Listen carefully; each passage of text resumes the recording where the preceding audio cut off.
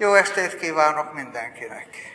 A múlt beszéltünk arról, hogy fogalmi reprezentációk és hangulatreprezentációk, ott lehet, hogy nem egészen értették, hogy miért kell nekünk olyasmikről beszélni, amikor úgy nézett ki, hogy az valahogy nem olyasmi, amit mi fel tudunk valahol is használni. Hát ha így gondolták volna, akkor ma ki fog derülni, hogy az nem úgy van, mert mindjárt a mai nap arra nekünk itt szükségünk lesz. És hát itt most egy kicsit ismerősebb terepre fogunk menni, mert hát a mai előadásnak az a címe, hogy az emberi nyelv szimbolikus fele. Na most mi tartozik ide? Hát tulajdonképpen minden az emberi nyelvben, ami a viselkedésnek a szimbolikus rendszerére és annak a működési elveire vezethető vissza. Ez most lehet, hogy úgy fog tűnni, hogy akkor ide kevés fog tartozni, mert hát mi a nyelvészetben megszoktuk, hogy keletkezik egy olyan látszat, hogy az egész emberi nyelvet leírtuk egy rendes, racionális, fogalmi rendszer keretében, és úgy tűnik, hogy az egésznek a működése kizárólag a mi racionális fogalmi rendszerünkre tartozik, és valahogy az ember azt gondolná, hogy egyáltalán még mi maradt arra, hogy a szimbolikus rendszerünk, tehát az a fogalmi rendszer előtti, régebbi, a másiknál sokkal nagyobb rendszerünk irányíthat. Hát meg fogjuk látni, hogy nagyon sok minden van, és ezekkel azért kell foglalkozni, mert a fogalmi rendszer és annak a működési elvei alapján ezeket nem lehetne rendesen megérteni. Ne tessék azt hinni, hogy azért nem próbálják meg a világon, hát szinte mindenütt értik, mert amilyen nyelvészetet művelünk, az elkerülhetetlen, hogy mindent a fogalmi rendszerünkre akarunk visszavezetni, ott akarunk mindent értelmezni, de hogyha ezt megpróbáljuk, akkor az lesz belőle, hogy nagyon ötletes, de nagyon furcsa, nem szimpatikus magyarázatok fognak születni, olyanok, hogy elolvassuk, látjuk, hogy ez nagyon okosan el van magyarázva, de érezni fogjuk, hogy ez valahol úgy mellé ment, hogy ha elég okosak vagyunk, akkor arra gondolunk, hogy keressünk valami ennél jobb magyarázatot. És sok minden magyarázat nélkül fog maradni. És hát mi fog történni azzal, amit végképp nem lehet ott magyarázni, hát már láttuk egyszer, hogy mi szokott azzal történni, az, hogy ezekről kisütjük, hogy nem is tartoznak a nyelvhez. Vagy úgy teszünk, mintha azok nem is lennének, és akkor nyugodtan foglalkozhatunk azzal, ami jobban megfelel a mi paradigmánk szemléletének. Na most akkor miért érdemes ezzel foglalkozni? Hát itt most érdekes dolgot fogok mondani, mert ilyet nem szoktunk. Hát először is azért, mert ez nagyon érdekes és izgalmas, értik? Normális esetben ezt nem kellene mondani, de ha széjjel néznek, hogy miket mondanak igen jó helyeken arról, hogy miért érdemes egy tudományterülettel foglalkozni, ott várhatóan ilyeneket fognak mondani, hogy azért, mert az egy nagy új terület, sok kutatási lehetőség van, sok publikációs lehetőség van, azzal gyorsan lehet növelni az idézettségi indexünket, és akkor ebbe a nagy versenybe, amiben vagyunk, akkor nagy előnyökre lehet szert tenni. Hát nem. Ezt tessék elfelejteni, kivéve azt az esetet, ha ebben a rendszerben akarnak maguk is versenyt futni. Akkor ne felejtsék el, de amúgy, ha azt akarják megérteni, hogy a tudományt miért csináljuk, akkor azt felejtsék el. A tudományt nem azért csináljuk. A tudományt azért csináljuk, mert kíváncsiak vagyunk és érdekel bennünket. Hát tovább azért is érdemes ezzel foglalkozni, mert így jobban megérthetjük, hogyan is beszél valójában az ember mert mi kíváncsiak vagyunk, értik? Tehát mi ezt azért csináljuk, és akkor ez nyilván ide bejön. Ez tehát akkor egy nyelvészeti és pszicholingvisztikai cél. Hát nyelvész ezzel beérhetné, mert azt mondaná, hogy neki mi kell még több. De van még valami, ami még ennél is fontosabb, az, hogy a nyelv az egyetlen olyan rendszer, amelyben egyszerre érvényesül mind a két rendszerünk, és itt meg lehet figyelni, hogyan integrálódnak ezek egyetlen komplex rendszerbe, ebből pedig ötleteket lehet szerezni arra vonatkozóan, hogy mi lehet az agyunkban. Mert azt, hogy az agyunkban mi van, azt csak annak a szerkezetéből lehet megsejteni, hogyha megvizsgáljuk, hogy az, amit ezzel mi agyunkkal produkálunk, az hogy néz ki. Hát itt én azt mondtam, hogy a nyelv az egyetlen olyan rendszer, nem biztos ez, hogy az egyetlen. Lehet, hogy még van ilyen rendszer, de a nyelv mindenképpen olyan, amit nagyon jól lehet vizsgálni, értik? Mert az a rengeteg nyelvi anyag, amit ezzel létrehozunk, az egy nagyon gazdag kiindulópont, és azért is nagyon fontos ez, mert amit a nyelvben figyelhetünk meg, az nagyon megbízható. Tudni, ha van valami, ami azért lett az emberi nyelvben, mert azt mi úgy érezzük. Nem tudjuk mi azt racionálisan megmagyarázni, hogy miért mondjuk úgy, de hogyha ennek ellenére mégis úgy mondjuk, akkor az azt jelenti, hogy az egy olyan szimbolikus valami, ami nagyon szimpatikus kell, hogy legyen, mert nagyon sok embernek volt az szimpatikus, mert ha nem lett volna szimpatikus, akkor abból nem lett volna nyelvi tény, értik? Mert az úgy lett, hogy valaki egyszer mondja, a másik úgy érzi, hogy hú, ez olyan találóan van mondva, akkor ő is kezdi úgy mondani, és akkor ez gyorsan elterjed. És ezért itt a szimpatikusság egy nagyon nagy emberanyagon van, spontán módon ellenőrizve, értik? Na most a két szólamú beszéd. Hát ezzel a kifejezéssel nem hiszem, hogy találkoztak eddig. Én se találkoztam tavalyig, tavaly találtam ki, amikor erre az előadásra készültem, mert valahogy el kellett, hogy mondjam azt, hogy ez a mi emberi nyelvünk, ez egyszerre két rendszert működtet, és valahogy olyan ez, mint a két szólamú éneklés, értik? Hogy ketten csinálnak két teljesen különböző dolgot, de összehangolva csinálják. Na most a természetes, normális, köznapi emberi beszéd két szólamú. Mind a két rendszerünk egyszerre ott van benne, a racionális rendszerünk is, és az a nem racionális, szimbolikus is. És hát én odaírtam azt, hogy double layered, és nehogy azt higgye valaki, hogy azért írtam oda, mert ezt angolul így hívják. Nem azért írtam oda, hanem azért írtam oda, mert ez a mi világunk olyan, hogy ha én csak magyarul mondom, hogy két szólamú, azt veszik is komolyan, meg nem is. De ha látják, hogy ezt angolul is lehet mondani, akkor az már valami, értik? Hogyan két szólamú? Hát először jelöl és jelent valamit.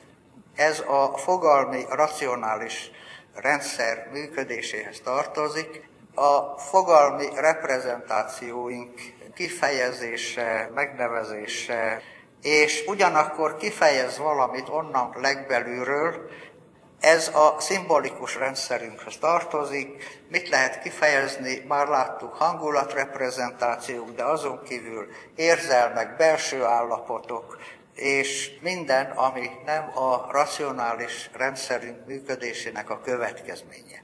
Na most, ha azt nézzük, hogy a múltkor beszéltünk arról, hogy a kategória szintek, hogy alapszintű kategóriák, alapszint fölötti, alatti, akkor azt vesszük észre, hogy ez a két szólamúság a kategóriák szintjén inkább csak az alapszintű és az ezeknek alárendelt kategóriákra igaz, ezeknek van hangulatuk, értik? Az alapszint fölötti absztrakt kategóriák, és az a fogalmi nyelv, tudják maguk milyen az, annak a konstruktumai egy szólamúak. Ott csak a racionális szint működik, hát Erről a fogalmi nyelvről már maguknak van tapasztalatuk, mert már eleget jártak egyetemre, és akkor itt mondom azt el, hogy miért beszélek én itt maguknak úgy, ahogy beszélek. Értik?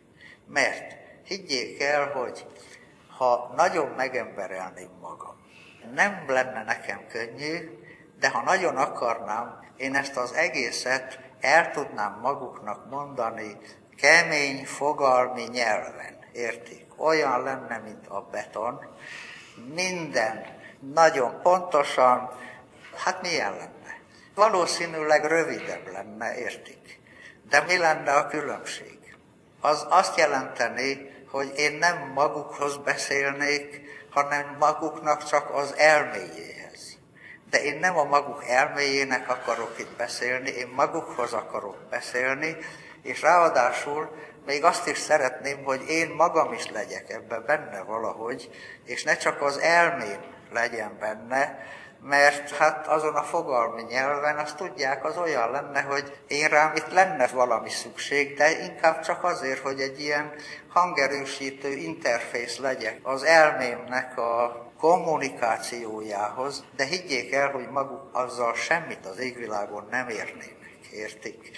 Mert lehet, hogy érteni tudnák, de nem biztos, hogy azt látni is tudnák, értik? Az meg én nekem kételjeim vannak az olyan megértéssel kapcsolatban, amit az ember az eszével ért, de látni nem látja. Na, még valami hasonlóra vissza fogok majd térni. Most az a kérdés, hogy hogy valósulhat meg ennek a két rendszernek a kapcsolata, ez egy nagy kérdés, és azt ne várják tőlem, se ezen az órán, se a következő órákon, hogy én nagyon részletesen meg fogom mondani, hogy ennek a két teljesen különböző elvű rendszernek az együttműködése az egészen pontosan, hogy történik, mert valahogy történik, de az még magukra vár ennek a kiderítése, hogy az hogy történhet. Hát az egyik kapcsolat ott van az alapszintű fogalmaknak a szerkezetében. Hát mi kell egy alapszintű fogalomhoz? Hát maguk már tanultak ilyesmit, kellenek először azok a fogalmi jegyek, amiket ugye Arisztótelész óta a szükséges és elégséges feltételeknek szoktunk nevezni. Emlékeznek, tavaly kognitív nyelvészet órán ilyesmikről volt szó. Ezen kívül Kell tudni azt, hogy milyen más fogalmakhoz kapcsolódik. Erről is volt szó más összefüggésben, ha visszaemlékeznek arra, hogy fogalmi keretek hogy nem elég tudni azt, hogy ceruza, hanem kell tudni azt, hogy ez az íráshoz kapcsolódik, mert ha nem tudjuk mi az, hogy írás, akkor a ceruzát se értjük, értik? Tehát az világos, hogy az oda kell. Ezen kívül, na ezt már ritkábban szokták mondani, hogy kell egy képi lehorgonyozás. Mit jelent az, hogy képi lehorgonyozás? Egy valamilyen, bármilyen elnagyolt kép ott a fejünkben, ami a fogalomhoz tartozó dolgoknak a felismerését egyáltalán lehetővé teszi. Mert egy darabig el lehet azzal boldogulni, hogy elindulok, hát van Ray Jackendoffnak egy nagyon jó példája, a hattyú meg a liba. Tehát megpróbálkozhatunk azzal, hogy na, mondjuk a fogalmi jegyeit, igaz? És mondjuk, hogy élőlény, állat, madár, na most akkor itt kezdődik a baj. Mert most már, amikor tovább, mi az a fogalmi jegy, ami a hattyút a libától megkülönbözteti, igaz? Tehát úgy, hogy ránézésre is rögtön lássuk, és akkor az egy nagyon furcsa feltétel lenne, hogy azt mondjuk, hogy szemben a libának az egyenesebb nyakával egy olyan görbe, de azt is, amikor azt kell megmondani, hogy az most milyen alakú. A végén oda jutunk, hogy a legpontosabban úgy tudjuk megmondani, hogy az olyan hattyúnyak alakú, értik? Tehát valamilyen kép kell ahhoz, mert különben ott nem fogunk boldogulni, és most Emlékezzenek vissza, hogy a hangulat reprezentációkról, amikor beszéltünk, akkor mondtuk, hogy oda tartozik egy kép, és az már megvan, hát gondolják meg, a hangulat reprezentáció az sokkal hamarabb megvan, mint a fogalmi, és akkor minek most még egy másik képet a fogalmi reprezentációhoz? A felismeréshez legszükségesebb képi elemeket át lehet venni a hangulat reprezentációtól, és ez egy kapcsolatot fog teremteni a fogalom és a hangulat reprezentáció közt. Viszont a hangulat reprezentáció értékelő és érzelmi összetevőivel semmiféle kapcsolat, mert a fogalom, annak nincsenek értékvonatkozásai, értik? Azért olyan a fogalmi nyelv, ahogy szoktuk ezt mondani, mert a fogalomnak nincsen ilyen összetevője. Na és akkor kell végül még egy nyelvi lehorgonyozás is, vagyis egy szó, amivel mi azt megnevezzük, és ez egy konvencionális név, és hát ez teljesen érthető, mert hát végül is a fogalomra miért lett nekünk szükségünk? Hát leges legelőször akkor lett szükségünk, amikor beszélni kezdtünk, mert amúgy a viselkedéshez azokkal a hangulat reprezentációinkkal mi nagyon jól meg tudunk lenni, de a beszédhez a hangulat reprezentációk borzasztó nagy gazdagságát, azt mi nem tudjuk használni. Hát, hát gondoljanak arra, emlékeznek, a múlt órán mutattam maguknak azt a két kutyát, igaz, azt a kis cuki kutyát, meg a másik kutyát, és a kettő közt hát ég és föld a különbség, de mi nem beszélhetünk úgy, értik, hogy most mindegyiknek külön neve legyen, és akkor muszáj a világot lebutítani és nagyon le kell butítani, és a fogalmi rendszerünk számára mi egészen lebutítjuk a világot, mert ilyen módon akkor egy megtanulható mennyiségű szóanyaghoz juthatunk, és akkor ez ugye konvencionális, és nem csak úgy konvencionális, hogy a hangalakja, hanem ahhoz, hogy értsük egymást, azt is egyeztetnünk kell valahogy egymással, hogy én is azt nevezzem kutyának, amit mindenki, és ne nevezzek én kutyának olyasmit, amit más már farkasnak nevez. Tehát világosan látszik, hogy már az alapszintű kategóriáink is fogalmi szinten, azok már konvencionálisak. Na most akkor hogy lehetséges a szimbolikus kifejezés? Hát először is a szavak szintjén alapfeltétel, hogy a megnevezés is az alapszinten történjen. Mert különben semmiféle hangulat nem tud átmenni. Itt most egy picit meg kell állni, mert az, hogy alapszintű fogalom, az egy érthető dolog. De ha most azt mondom, hogy a megnevezés az alapszinten, ez nem pont arra vonatkozik. Az egy érdekes kérdés, hogy most hogy viszonyulnak a szavak a fogalmakhoz olyankor, amikor nekünk szinonimáink vannak, igaz?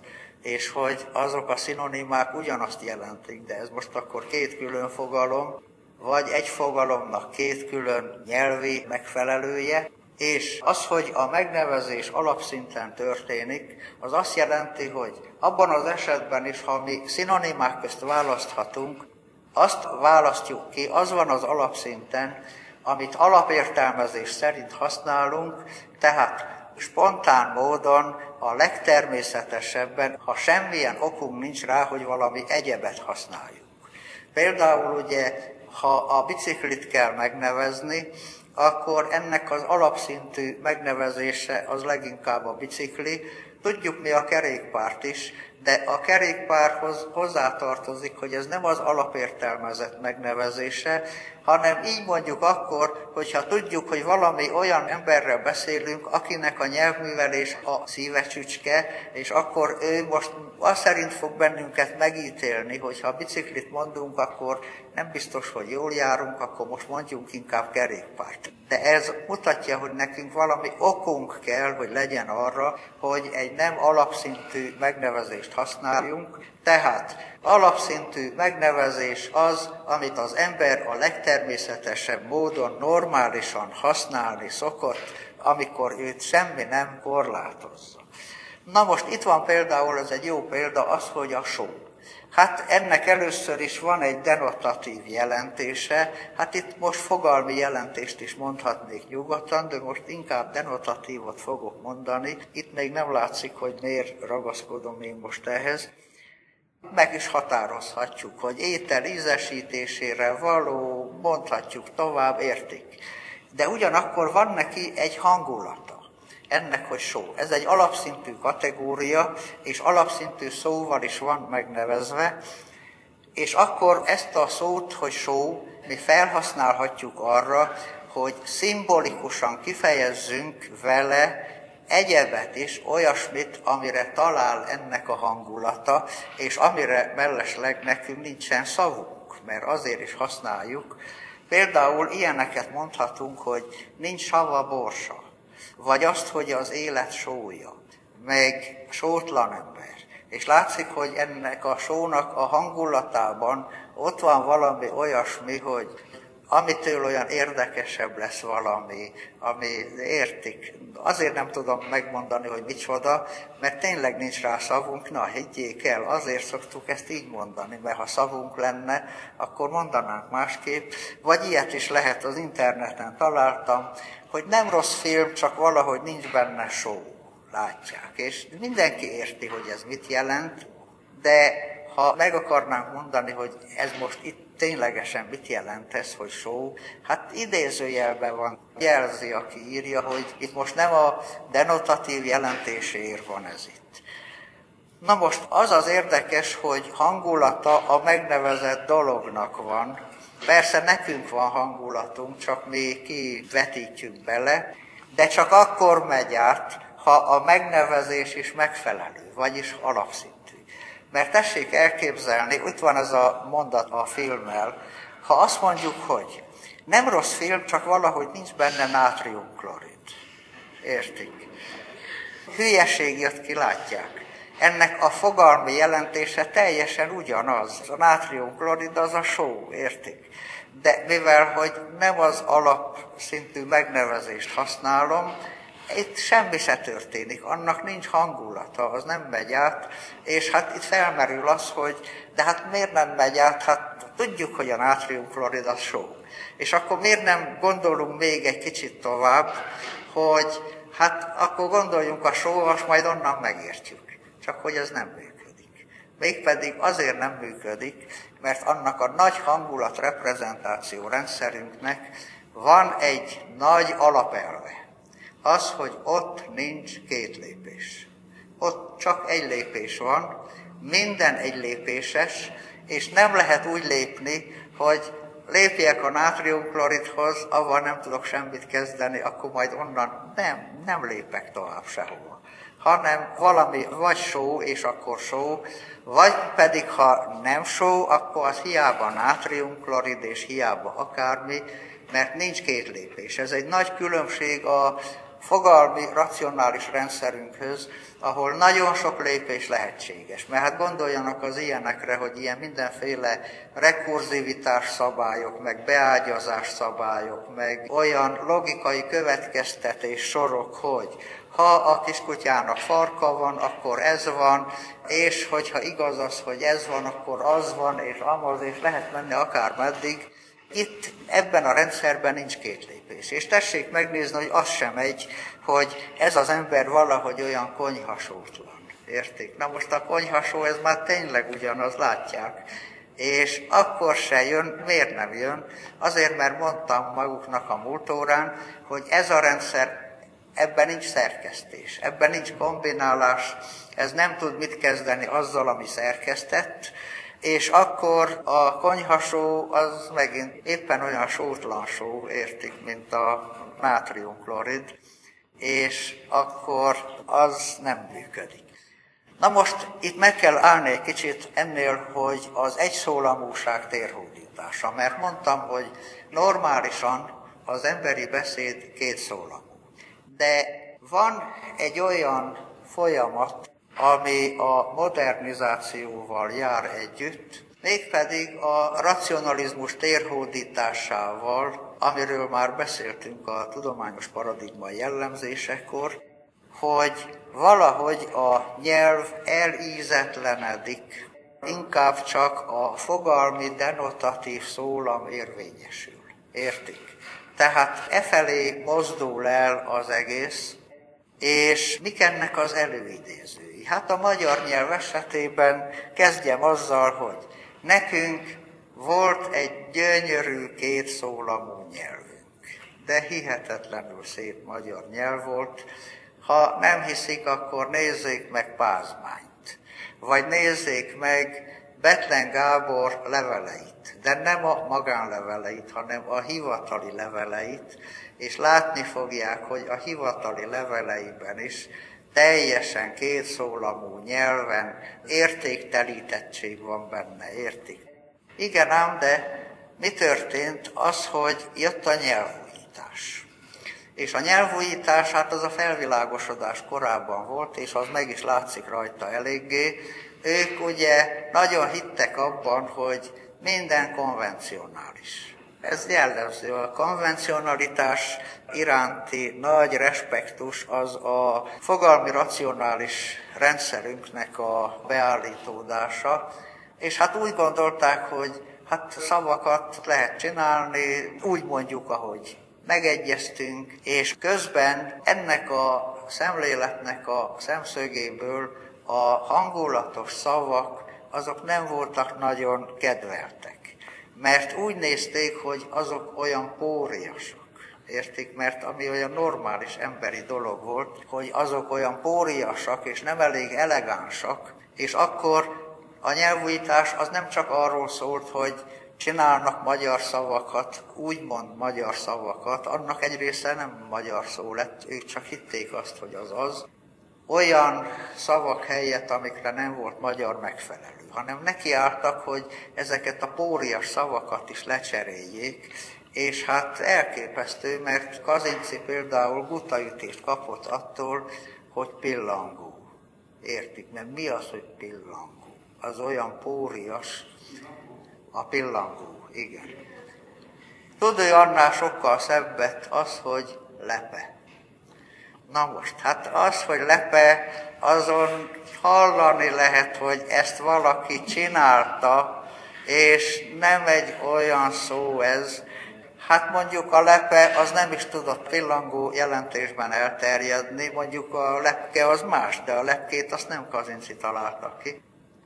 És hát ezek nem értettek semmit, mert ők azt hitték, hogy mindegy, és nem érezték azt, hogy a pillangó neve az igenis pillangó, mert abban benne van az, amit hangom mutatott, hogy az úgy pillang a szárnyával, értik azt, hogy pillangó, és igenis nagyon hozzá tartozik az, hogy az háromszótagos legyen, mert egy pillangóhoz olyan név tartozik, ami háromszótagos, és tessék megnézni, az románul is. Fluture, franciául is papillon, abba papillon, abba, abba is van egy ilyen, egy ilyen szárnyverdes, és érzik a papillon, Hát mondjuk angolul is háromszótagos, de ott másképp, mert ott a butterfly, az másból jön.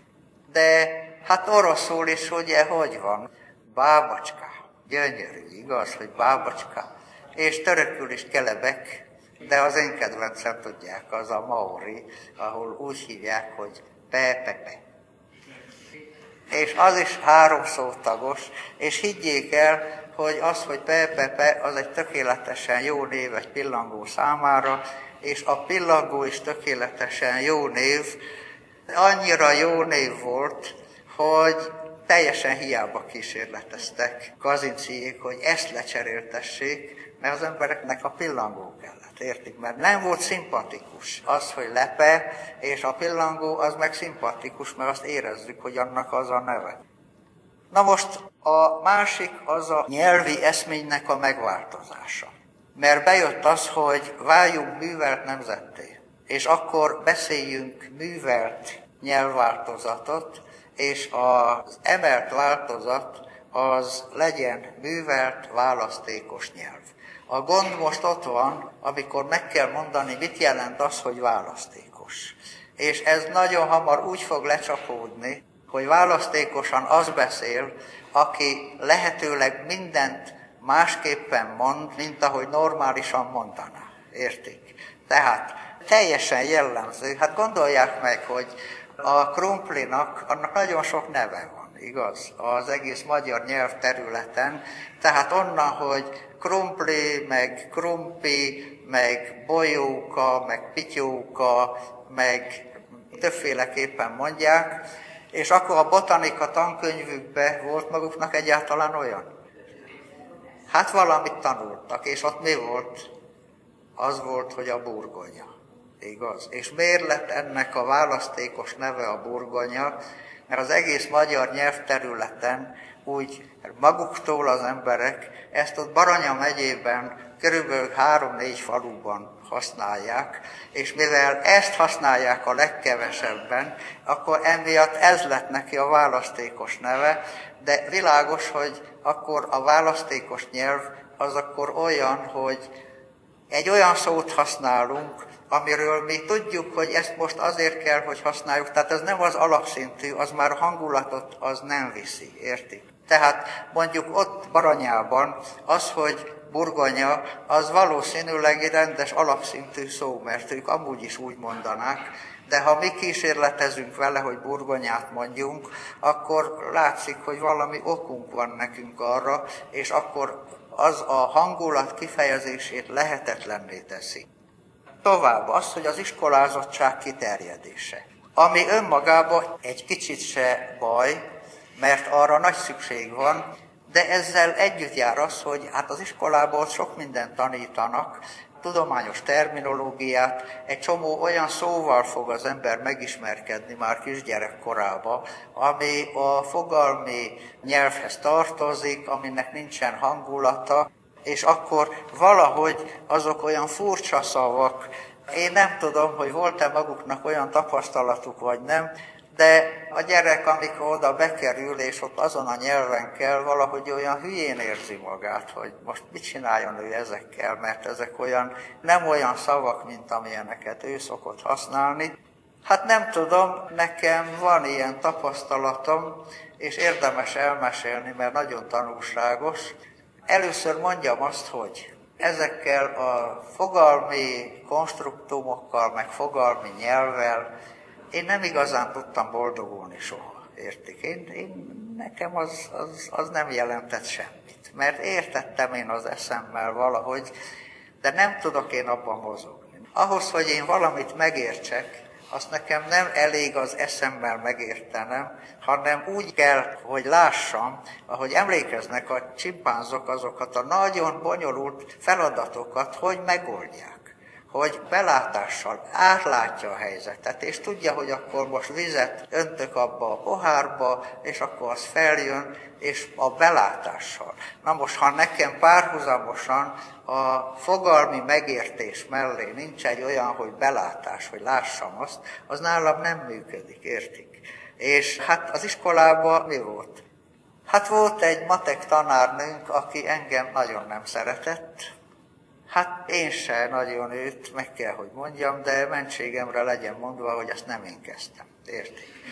És hát egyszer feltette azt a nagy kérdést, hogy hány egyenes húzható egy ponton keresztül. Tessék ennek a nyelvi formáját megfigyelni. Még csak véletlenül se úgy hangzik, hogy hány egyenes lehetne húzni egy ponton keresztül, hanem hány egyenes húzható. Mert ez, mivel hogy nominális és nincs benne ige, akkor ez már az egy szólamú felé viszi el, és ott az az eszmény, hogy úgy kell mondani, hogy hány egyenes húzható egy ponton keresztül. Hát én megörültem neki, hogy végre van valami, amire én is tudok. Hát nyújtom az ujjam, mondja, na mondja. Hát mondom, hogy rengeteg. Hát kisült, hogy nem volt nyerő, értik, mert nyerő egyedül az lett volna, hogy végtelen számú és azt mondták nekem, hogy tanuljak meg magyarul. Na most ez durva voltám, gondolhatják, hogy tanuljak meg magyarul, és én egy egész délután azon gondolkoztam, hogy most mitől nincs az magyarul, hogy rengeteg, amikor, ha én azt mondtam, hogy rengeteg, akkor én azt láttam, értik? Azt az iszonyatos nagy nyüzsgést, azt a mindent, ami ott van benne, és az meg, hogy végtelen számú, az nekem két árva szó volt, értik, amit az eszemmel én értettem, hogy ez mit akar. Mondjuk a végtelent nem biztos, de azt a filozófusoknak se könnyű, de mondom, azt próbáltam megérteni, hogy most evel mi a baj, és lehet, hogy azért lettem nyelvész, mert ezt akartam én igazából kideríteni, hogy miért nem jó az, hogy rengeteg. Hát miért nem jó? Azért, mert két szólamú, értik? És azokat az üres egy szólamú szavakat én nem bírtam a számon kimondani. Én mindig sok mindenből bukásra álltam, értik? Mert tudtam én mit kéne, de én azt az idióta szót nem bírtam kimondani, de semmi gond, mert volt évharmadi dolgozat, és írni, akkor nem éreztem semmit, mert az írás másik dologot, nem a számon kell kimondani. Tehát írtam egy minimum hatost, a feleleteimre a négyessel jól kijött, meg voltam elégedve, értik? Mondom, az iskolának vannak ilyen érdekes hozadékai, és hát tovább az, hogy az élőbeszéd és az írás-olvasás arányának a megváltozása. Hát itt már ezt elkezdtem az imént mondani, mert mondtam, hogy írni lebírtam én azokat a szavakat, csak mondani nem, mert az írás az eleve valahogy sokkal kevésbé több szólamú, sokkal inkább egy szólamú, Hát maguk tudják jól, hogy chatben például, hogy mi mindent próbálnak, hogy emotikonokkal, meg minden, de az olyan nehézkes, olyan nem igazi, érzik ezt. És a tartalmi összetétel megváltozása, hogy tudnélik, egyre több ilyen tudományos, meg ismeretterjesztő, meg közélet, meg hasonló szövegeket olvasunk, ahol a témával valahogy az egyszólamúság az vele jár. Egy következő tényező az a nyelvművelő igyekezet. Hát az imént a nyelvújítókról beszéltem, de ne tessék azt hinni, hogy a későbbi, hát mondhatom úgy, hogy egész máig tartóan a nyelvművelők azok olyan nagyon különböznének a nyelvújítóktól. Nem. A nyelvművelők is meg vannak róla győződve, hogy a nyelvi jel az konvencionális, megtanulta ezt szosszűrtől, és csináljunk szavakat. És hát csinálnak szavakat. Például tudja valahonnan, hogy az idegen szó nem szép, nem tudja, hogy honnan tudja, hallotta mástól, hogy az idegen szó nem szép, majd csinálunk mi jó szavakat. És akkor már a múltkor láttuk, hogy Hát a bicikli az nem jó, mert hát idegen szó, akkor legyen kerékpár. De a nyelvművelő nem érzi azt, hogy az emberek azért mondják biciklinek, mert az nem szerkesztett. Az jó név, alapszintű névnek, annak lehet hangulata. Az meg, hogy kerékpár, az mint összetett szó, az erre eleve alkalmatlan, és ez egy olyan fűrészporízi nyelvhasználathoz vezet, meg aztán kisütötték, hát ezt még régebben, hogy hát az autó, hát ezt nem lehet hagyni, hogy egy ilyen idegen szó a magyarba annyira elterjedjen, akkor legyen gépkocsi. Hát lett gépkocsi, de lett ez gépkocsi? Hát nem lett az gépkocsi. Lehet azt gépkocsinak mondani, de Karácsony Sándort már mondtam maguknak, 1939-ben a Magyar Észjárás című könyvében azt mondja, hogy értsük már meg, a magyar ember számára az autó az autó, sőt autó, és az ő számára ez magyarul van, az meg, hogy gépkocsi, ki tudja. Ezt nem én találtam, ezt ő írja így, mert a magyar ember számára az, amit ott lát, az nem is gép. A gép az az ő számára micsoda? Az olyan, mint a cséplőgép, meg a varrógép, valami munkagép, de nem egy jármű. És az, hogy kocsi, hát az mondjuk kocsinak még lehet kocsi. A magyarok mondjuk meg is oldották. Egy ilyen kompromisszumos megoldással elhagyták belőle a gépet, és akkor csak kocsinak lehet hívni, kocsival mennek ide-oda, az úgy már teljesen rendben van, de nem gépkocsi, mert az összetett szó. Meg aztán egészen képtelen dolgokat bírnak kitalálni időnként. Hát emlékeznek arra, hogy azt javasolták, hogy a padlizsán helyett, amit mi nálunk vinetének mondunk, igaz, hogy mondjuk azt, hogy tojásgyümölcs.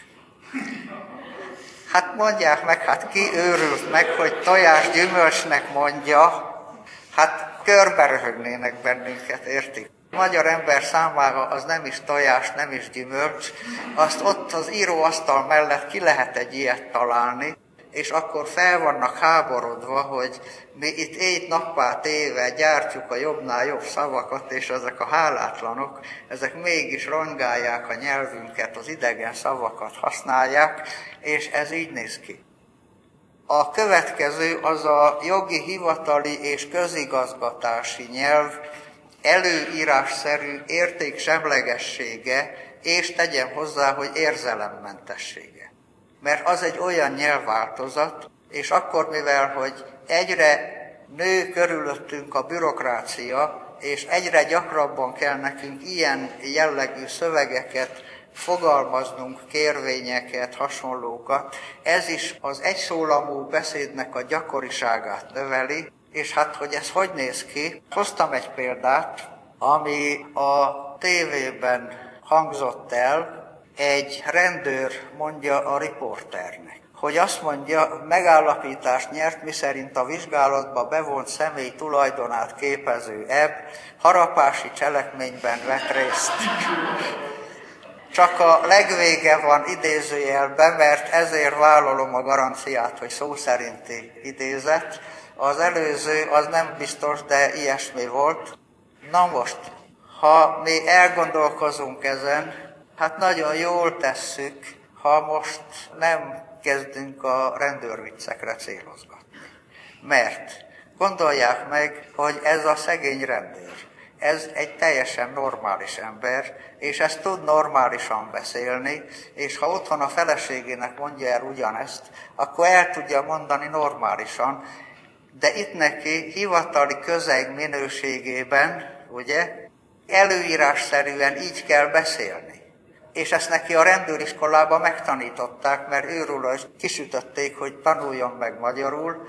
Nem vicc, egy tanítványunk Magyarországon részt vett valami továbbképzőn, nem rendőri, ahol megtanították, hogy kell jegyzőkönyvet írni, és megmondták neki, hogy szigorúan kirúgás terhe mellett tilos olyasmit írni a jegyzőkönyvbe, hogy és akkor felhívtam a rendőrséget, hanem csak úgy szabad, hogy távbeszélő útján kapcsolatot teremtettem a rendfenntartó szervekkel.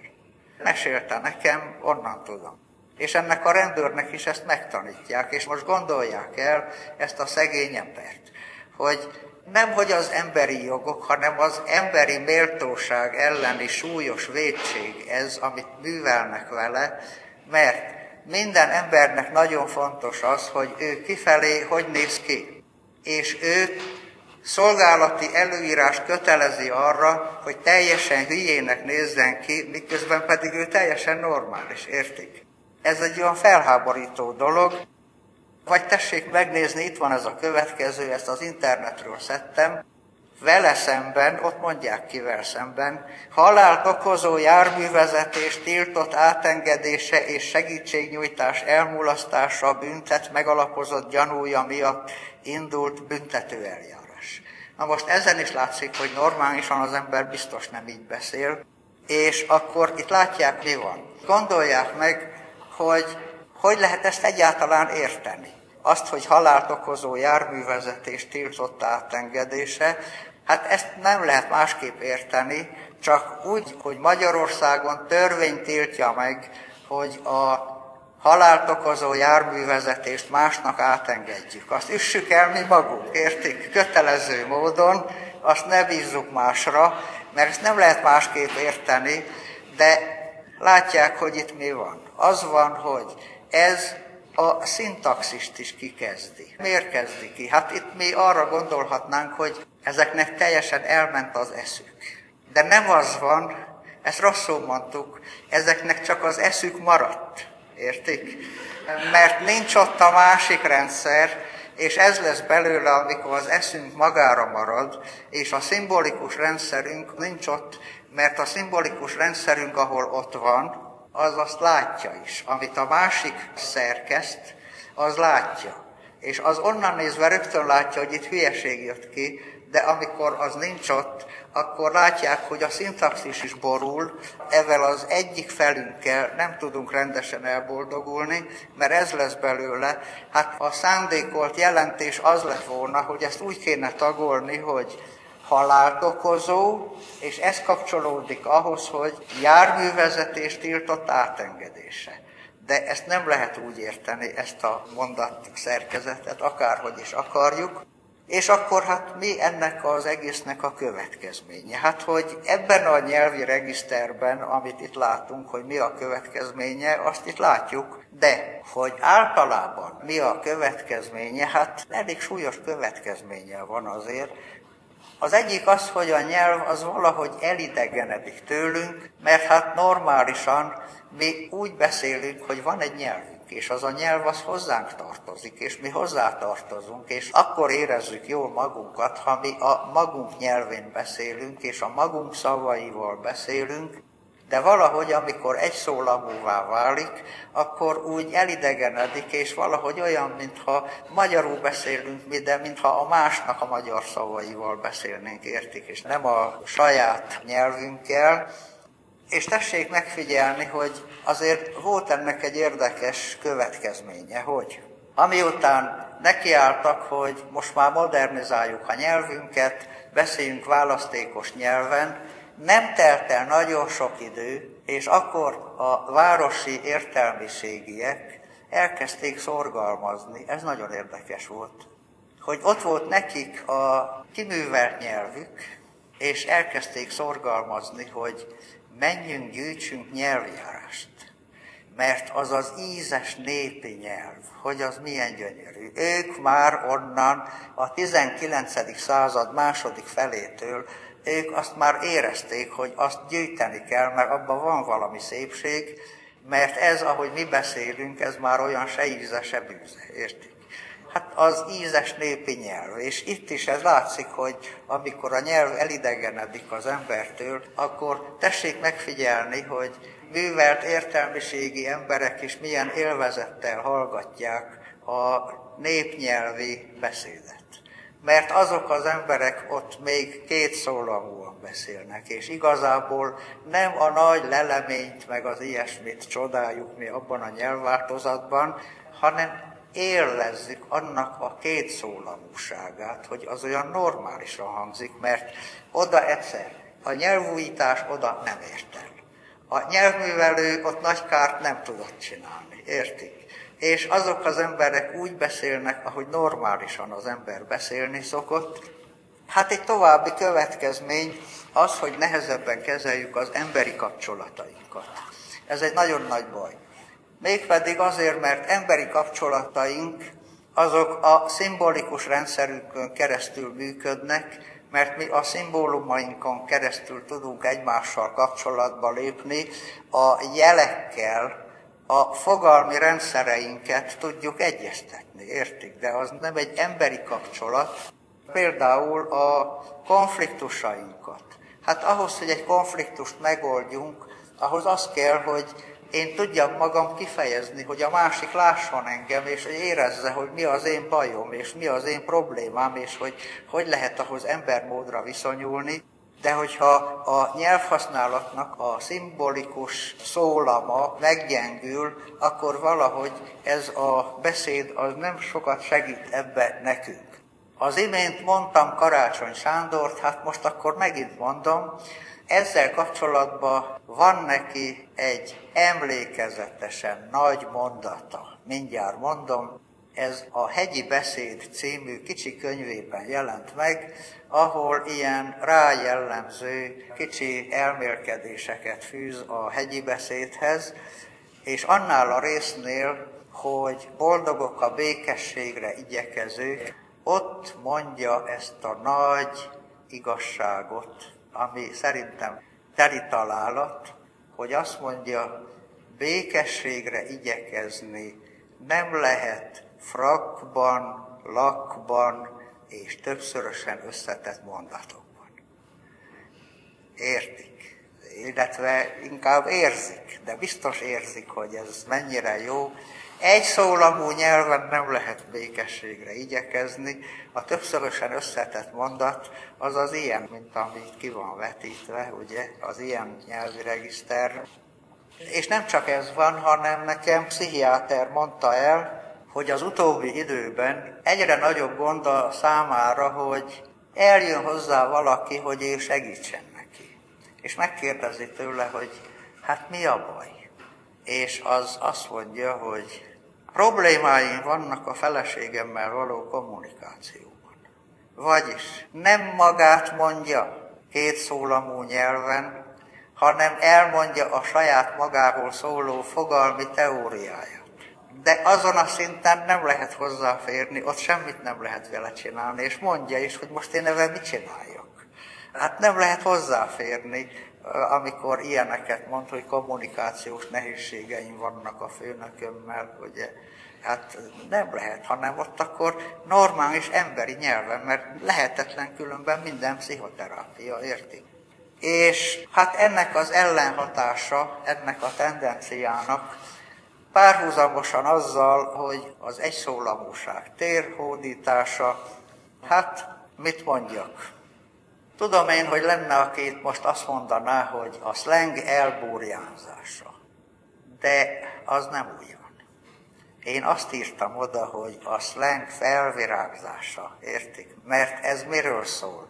Ez arról szól, hogy különösen a fiatalok, akik teljesen normálisak, azok érzik, hogy egy ellehetetlenedő nyelven nem szabad beszélni, és más nyelven kell, olyanon, ami két szólamú, és hát tudom én, hogy sok magyar nyelvész nem értene velem egyet, pláne mondjuk akik számára a nyelvművelés az fontosabbnak látszik, mint nekem, de én úgy gondolom, hogy ma a slang beszélők az emberiség reménysége, értik?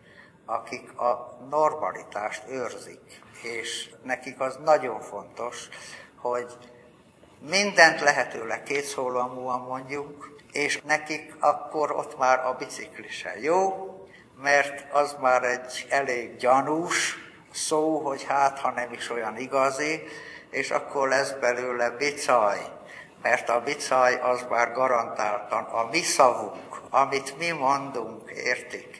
Hát normális, hogy a bicaj lesz, és a bicikliből indul, hát a kerékpárral nem is kísérletezik. Hát mit kezdjen egy olyan szóval, szlengesíteni egy olyat, mint a kerékpár, értik, az arra nem jó.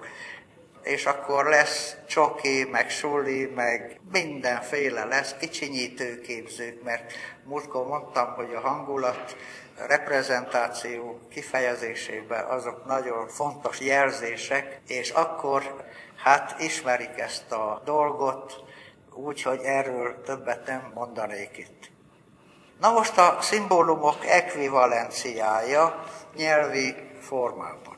Beszéltem én már erről maguknak, hogy a szimbólumok ekvivalenciája. Mondtam, hogy ez azt jelenti, hogy van egy valamilyen hangulat, vagy hangulatreprezentáció, vagy egy hangulatreprezentáció együttes, mert ilyen is van, aminek a kifejezésére különféle lehetőségeink vannak, és mindegy, hogy melyiket választjuk, mert ugyanazt a hangulatot fejezi ki egyik is, másik is. Tehát mondjuk ez hasonlít ahhoz, mint a szinonímia a jelek vonatkozásában, de ezeknek nincs jelöltjük, ezek nem szinonimák, hanem egyenértékűek. És akkor én itt most egy olyan szerzőre fogok hivatkozni, akire maguk még biztos nem láttak hivatkozni nyelvészeti szakirodalomban. Úgy hitták, hogy Jézus. Tudnélik, ő abszolút szaktekintély ebben a dologban, mert az egész tanítása, értik, az egy szimbolikus kifejezése egy nagy intuitív tudásnak, és a szimbolikus kifejezés volt az ő közege, és ő ezt nagyon jól tudta, hogy miről szól, és tessék megnézni, hoztam maguknak egy olyat, ahol elmagyarázza, hogy mit jelent a szimbólumok ekvivalenciája. Nem elmagyarázza, mert ő soha nem magyarázott el semmit, példázatot mondott, amiből mindenki megértette. Tehát azt mondja, hogy és jövének hozzá egy guta ütöttet hozva, akit négyen emelnek vala. Jézus pedig azoknak hitét látván, mondta a guta ütöttnek, fiam, megbocsáttattak néked a te bűn Valának pedig ott némely írástudók.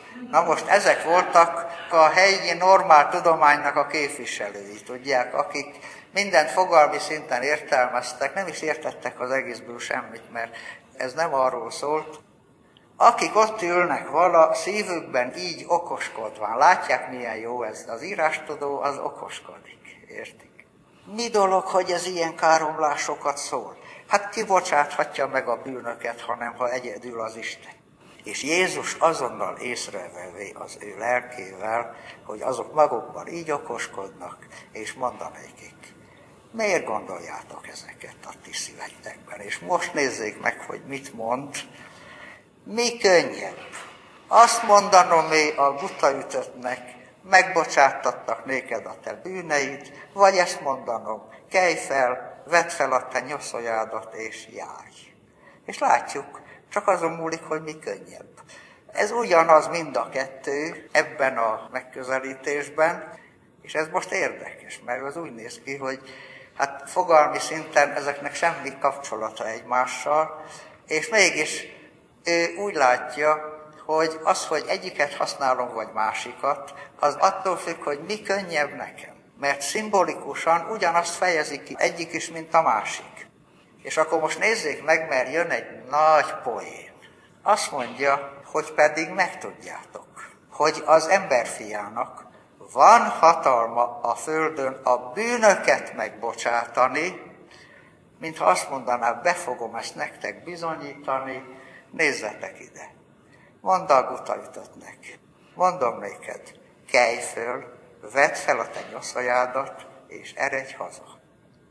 Na ez nagy poén, igaz? A szimbólumok ekvivalenciájára, hogy bebizonyítom nektek, hogy igenis van hatalma a bűnöket megbocsátani, mert ha azt mondom neki, hogy kelj fel, vedd fel a te nyoszajádat, és eredj haza, akkor az lesz, hogy az pedig azonnal fölkele, és felvévén nyoszajáját, kiméne mindenkinek láttára, quod erat demonstrandum, úgy, hogy mindenki elálmélkodik, és a mindenki, az csak mindenki, de gondolják el az írástudókat, hogy most ehhez mit szóltak, és hát lehet, hogy itt most van, aki úgy kételkedik, hogy ez most hogy lehet ekvivalens, de látják, hogy ez arról szól, és azért hoztam ezt, mert ő sokkal jobban el tudja magyarázni, hogy mi a szimbólumok ekvivalenciája, mert magamtól soha be nem ugrott volna nekem, hogy az a szempont, hogy mi könnyebb érték. És ez egy nagyon fontos dolog, hogy abban az adott helyzetben nekem mi könnyebb,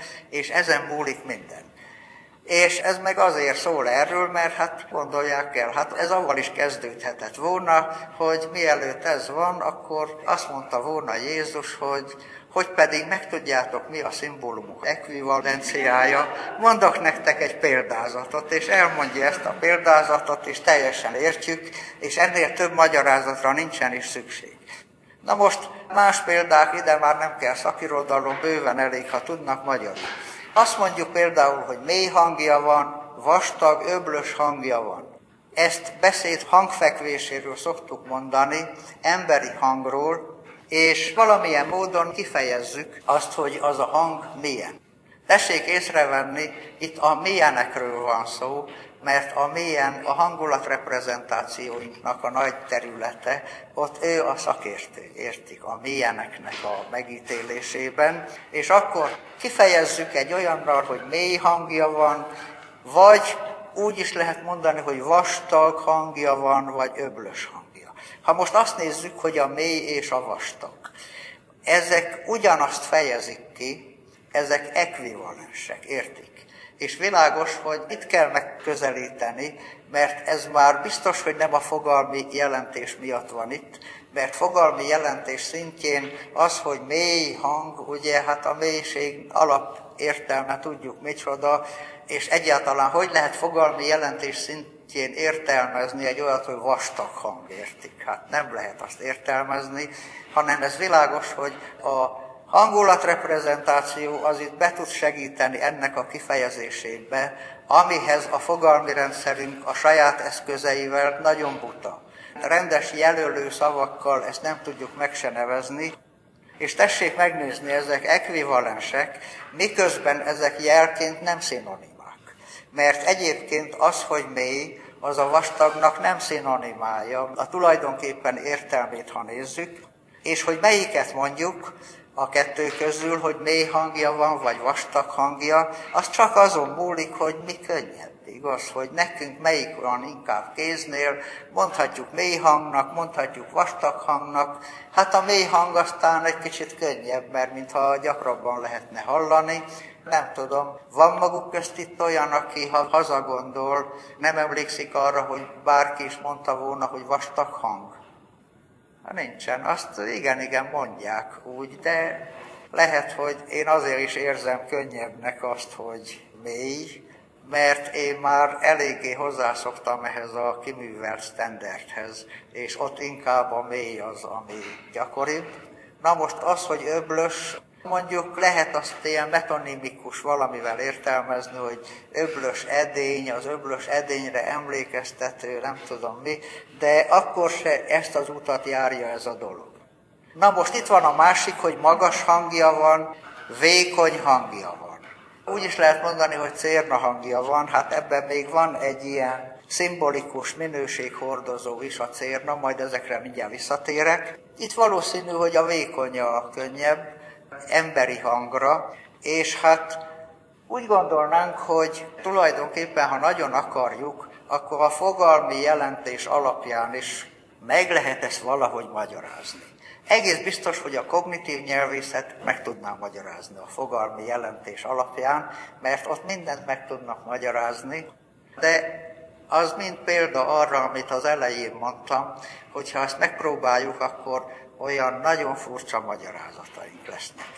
Van viszont valami, ami teljesen a szimbolikus rendszerünknek a jellegzetességére val, az, hogy azok a hangulatreprezentációk és az egész, az mindig egy adott helyzetben működnek, és nagyon specifikusak. Tessék arra gondolni, hogy ezt, hogy vastag hang, csak emberhangra lehet mondani, hogyha ezt a fogalmi rendszerünk irányítaná, akkor ha egyszer megtalálta azt, hogy vastag hang, azt akkor minden mély hangra mondaná, mert a fogalmi rendszerünk az rögtön általánosít és egyszerűsít. Itt viszont az van, hogy ha emberi hangról van szó, akkor vastag, illetve vékony, de például hiába fizikailag teljesen hasonló jellegű a magas hang zongora hangként, de arra nem lehet azt mondani, hogy leütött a zongorán egy vékony hangot. Ott csak magas hangot lehet mondani, mert az, hogy vékony, az látják, ez az, ami nagyon árulkodik, hogy a szimbolikus rendszerünk működésének a jellemzői vannak itt nagyon jelen, hogy olyan minőségek vannak, amik specifikusan kizárólag csak emberi hangra vonatkoztathatók. Általában a fogalmi rendszer az, ha talál egy melléknevet, akkor az mindenre akarja alkalmazni, mindegy, hogy mire, de itt viszont nagyon specializáltan csak emberi hangra lehet ezt így mondani, és akkor azt vesszük észre, hogy a mély és a vékony, ezek komplementárisak, kiegészítik egymást,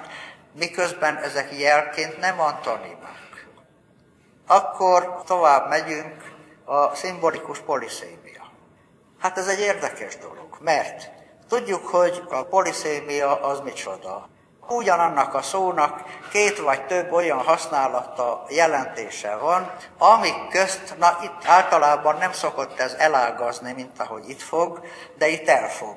Így szokott folytatódni, hogy fogalmi értelmi szinten is könnyen értelmezhető kapcsolat van jellegzetesen vagy valamilyen metaforikus kapcsolat, vagy pedig metonimikus kapcsolat. Az ilyeneket a kognitív nyelvészetben kényelmesen lehet kezelni, ezek fogalmi természetű dolgok. A levél esetében az, hogy falevél és postai küldemény, lehet látni, hogy mik azok a jegyek, aminek az alapján, a hasonlóság alapján ki lehet metaforikusan terjeszteni a másikra. Az iskola esetében, ami lehet iskola, mint épület, és iskola, mint intézmény, ott metonimikusan meg lehet magyarázni világosan és értelmesen, és az eszünk számára bevehetően, hogy terjed ki egyik a másikra. Igen, de mi nálunk ez itt elágazik, mert vannak olyan poliszémiák, hogy fogalmi értelmi szinten nincs könnyen értelmezhető kapcsolat, de érezzük, hogy valami mégis van. És az ilyen a szimbolikus poliszémia. Na, ezzel már nem foglalkozik a kognitív nyelvészet, mert ez már nem a fogalmi rendszerrel kapcsolatos. Hát, tessék megnézni, itt van például az, hogy fáj, vagy fájdalom. Hát ennél a fájnál egy kicsit álljunk azért meg, mert Gondoljunk most arra, hogy hogy viszonyul ez ahhoz, hogy reprezentációk. És akkor kiderül, hogy nagyon sok minden az nem reprezentáció. Ha én azt mondom, hogy fáj a fogam, igaz? Akkor nem valami kint levő dolognak a fejemben levő reprezentációját jelölöm én meg egy ilyen címkével, hanem ott van bennem valami, ami történik ott bennem, fáj a fogam, és akkor én ezt valahogy kifejezem. Ez egy nagyon érdekes dolog, mert a mi nyelvünk olyan, hogy nekünk lehetőségünk van arra, hogy az ilyen belső érzéseinkhez oda kapcsoljunk egy címkét, amivel azt tudjuk mondani, de az nem igazán a fogalmi rendszerhez is kapcsolódik, értik? Mert az, hogy fáj, amikor nekem fáj a fogam, akkor az, hogy fáj, az nem a fejembe levő fogalmamat, fáj, fogalom, egyáltalán vannak-e igei fogalmaink, ez egy nagy kérdés, erről nem szokott szólni a történet. És azért gondolják meg, hogy mennyire sajátos szó ez, hogy fáj. Mert hát hogy lehet egy ilyet a gyermeknek egyáltalán megtanítani? Mert akkor, amikor meg kell tanítani, hogy Maci, hát nagyon egyszerű, mert amikor látom, hogy ő is odafigyel, én is, mind a ketten, akkor én azt mondom, hogy Maci, ő, akkor ő is odafigyelt, akkor ott kint meg tudom neki mutatni, hogy ez a Maci. Meg, hogyha szól a galamb, akkor ő is hallja, mondhatom, hogy galamb. Még ilyen metonimikus dolgot. De hol mutassak én neki odakint olyat, hogy fáj? Értik? Olyat nem lehet. És akkor hogy tudja ezt a gyermek egyáltalán megtanulni? Mert azt nem lehet neki elmagyarázni. Hát ha valakinek el akarnák magyarázni, mi az, hogy fáj, értik? Olyan, akinek soha nem fájt semmije, hát az képtelenség elmagyarázni. És akkor, hát hogy lehet? Hát úgy lehet, addig nem lehet vele semmit kezdeni, ezért is fontos, hogy a gyermek időnként baja is történjen, mert különben lemarad dolgokról, hogy jól megüti a kezét, sír, akkor az anyuka az ugye empatikusan viszonyul, és akkor mondja neki, hogy fáj a kis kezed, ugye fáj, itt fáj, ott fáj, és akkor ő azt megtanulja, hogy az, amit ő ott érez most, az az, az hogy fáj, és akkor utána ezt másképp nem lehet megtanulni, és akkor ott van az, hogy fájdalom. Most vegyük ám azt észre, hogy ez két különböző dolgot jelent. Az egyik az a testi, fizikai fájdalom, amit mondtam az előbb, hogy fáj a fogam. De van olyan fájdalom is, hogy elhagyott engem a kedvesem, és az egy nagy fájdalom. Érték? És ez két teljesen különböző dolog. Látják, ez semmilyen módon nem hasonlít egymáshoz. Hát hol hasonlít egyik a másikhoz? Hol lehet ezt fogalmi szinten összekapcsolni, ezt a két fájdalmat, Hát gondolják el, hogy elhagyja magukat a kedvesük, és akkor elpanaszolják, hogy van egy nagy fájdalmuk, és azt tanácsolják maguknak, hogy vegyenek be fájdalomcsillapítót, igaz? Világos, hogy ez így nagyon érdekesnek látszik, de ez is mutatja, hogy mennyire messzi van egyik a másiktól, és ez is poliszémia, mert közben azt érezzük, hogy ez ugyanaz a szó, és hogy ezek nem homonimák, de hol lehetne ennek a fogalmi értelmi szinten könnyen meghatározni, hogy mi köze egyiknek a másikhoz. Hát a kognitív nyelvész az megpróbálja biztos, és akkor ott mindig az van, hogy hogyan terjed ki más dolgokra, és ott olyasmi lenne, hogy a lelki fájdalmunkat, azt a testi fájdalom fogalmunk szerint konceptualizáljuk, értik? De ezt lehet mondani, de hogy ez hogy néz ki ténylegesen, ennek semmi köze egymáshoz. Mondom, nem homoníma, nagyon jól érezzük közben, hogy ez ugyanaz a szó, és akkor most tessék ezt megnézni. Itt van két kép. 2003-ban Eisenberger és Lieberman Amerikában végeztek egy olyan kísérletet, ez egy fMRI, mágneses rezonancia vizsgálat, ez az agyi képalkotásnak egy modern eljárása, amivel meg lehet látni azt, hogy hol van nagy, erős aktivitás.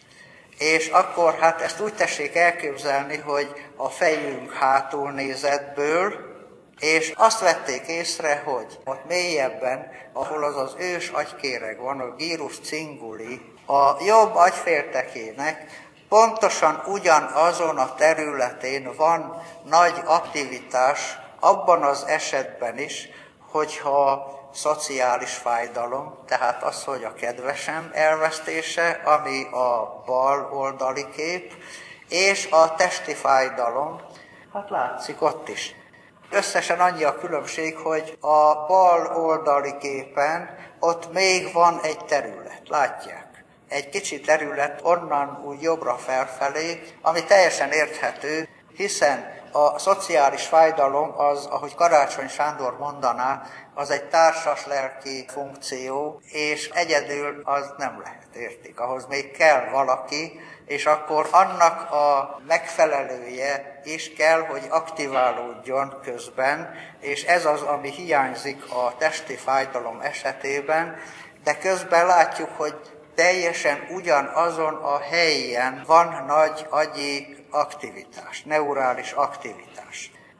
És akkor most ez mit jelent? Hát először is azt jelenti, hogy a szimbolikus rendszerünk számára ez a kettő nem is két külön érzés, hanem ez tulajdonképpen ugyanaz. Ezért fejezzük ki mind a kettőt ugyanazzal a szóval, mert ott legbelül a mi számunkra teljesen ugyanaz ez a kettő, és a különbség az inkább majd csak a racionális, tudatos szinten lesz, ahol mi tudjuk, hogy most nem úgy fáj. Ezt a nem úgyat, ezt jól jegyezzék meg, mert nekünk ez a terminusunk arra, amikor azt akarjuk kifejezni, hogy értik, nem úgy. Tehát nem úgy, mint amikor a fogam fáj, hanem most úgy másképp. És akkor kiderül, hogy a nyelvész teljesen rossz úton járt, amikor azt akarta kideríteni, hogy a mi elménk ezt a kettőt hogy kapcsolja úgy össze, hogy mind a kettőt egy ilyen poliszémiával, mert nem összekapcsolja azt a kettőt, hanem éppen, hogy külön választja.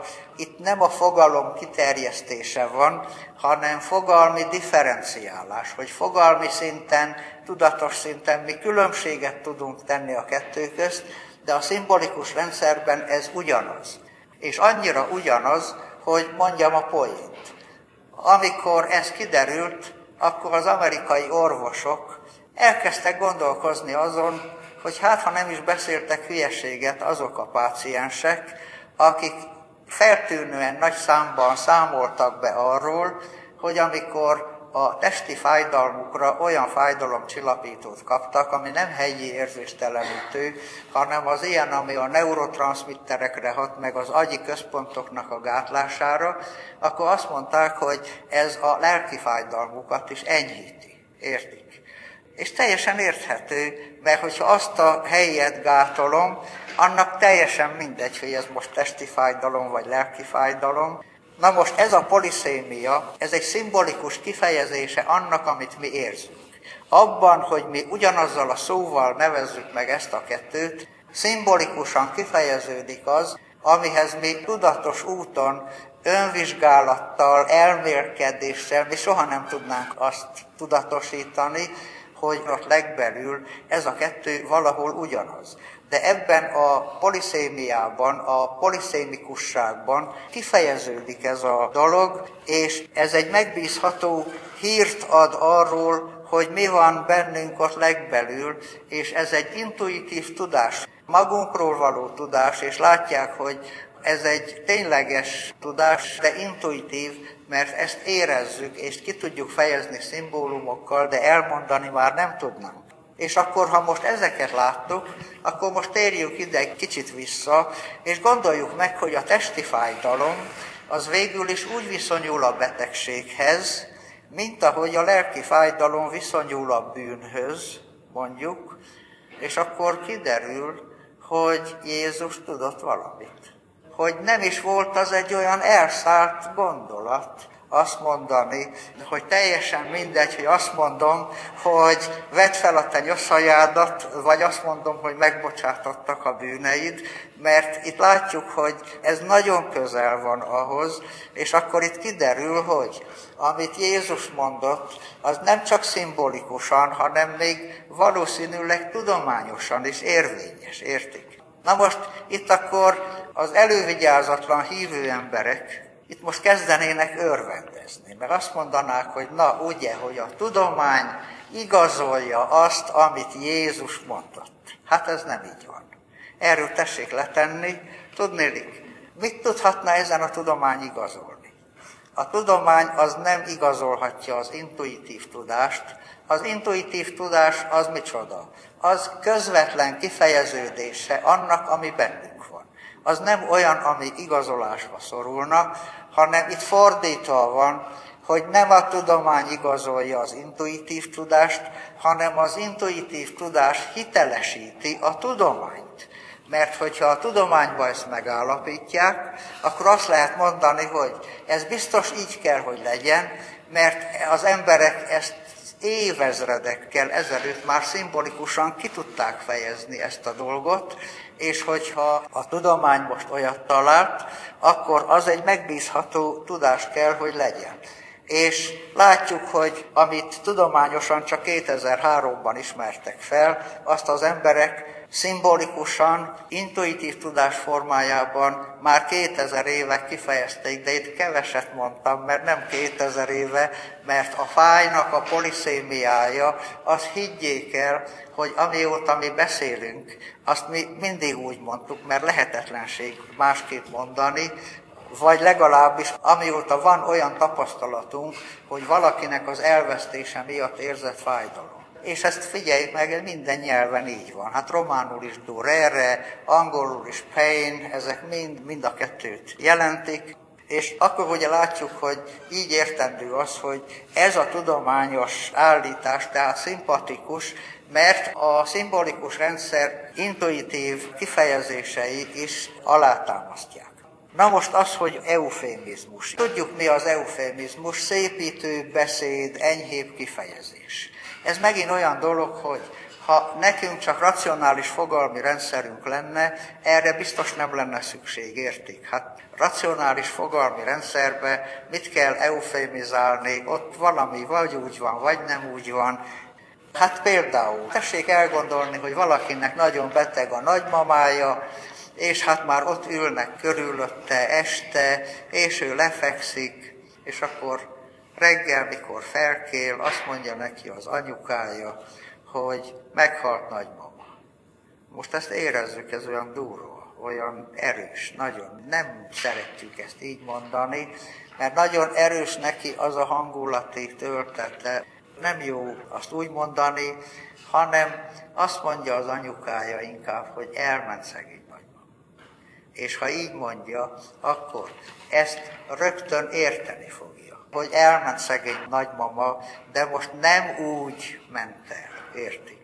Mert hát meg se tudott szegény mozdulni az ágyba, hát hova mehetett volna, hanem most akkor érteni kell, hogy elment. Hát itt most olyan területre értünk, hogy a kognitív nyelvészetben erre már jól bejáratott magyarázat van, mert emögött ugye van egy fogalmi metafora, az, hogy a halál eltávozás, igaz? De az nem derül ki, hogy miért csinálunk mi ilyet. Miért kell nekünk a halált az eltávozás mintájára strukturálni, vagy konceptualizálni, mikor a halál az megvan, és azt könnyen értjük, és azonnal értjük, és teljesen jó, olyankor, amikor újságban azt írják, hogy a helyszínre érkező mentők csak a halál beáltát állapíthatták meg. És itt mindenki érti, és nem kell semmire kicserélni, és sokkal egyszerűbb mondani és egyszerű megérteni is, hát gondolják meg a másikkal, mekkora kerülő utat kell tenni. Fogalmi szinten az sokkal bonyolultabb létrehozni is, meg megérteni is, és akkor ezt most miért csináljuk? Hát ez az, amire kognitív nyelvészeti keretben nagyon nehéz lenne magyarázatot találni, mert ott a fogalmi rendszeren belül maradva ennek nincs semmi értelme, hanem itt az a helyzet, hogy a szimbolikus tartalma az, ami miatt mi egyáltalán ilyen eufémizmusokat használunk.